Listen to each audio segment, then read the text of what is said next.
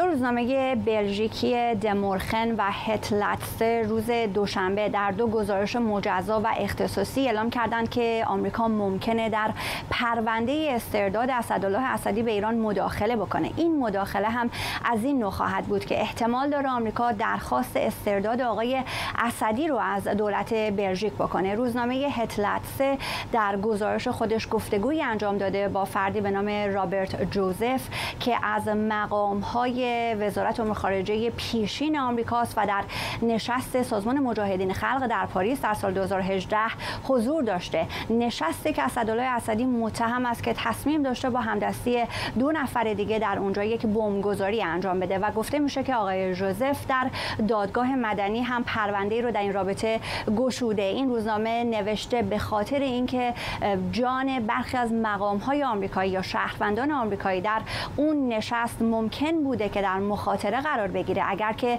اقدام آقای اسدالله اسدی موفقیت آمیز می بوده به خاطر همین دولت آمریکا مشروعیت این رو داره که چنین درخواستی رو از دولت بلژیک بکنه.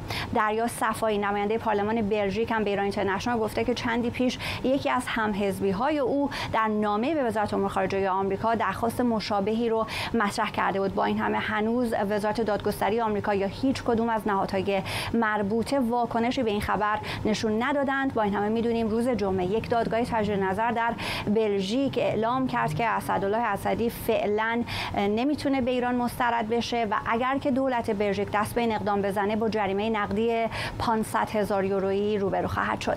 سمیرا قرایی واشنگتن.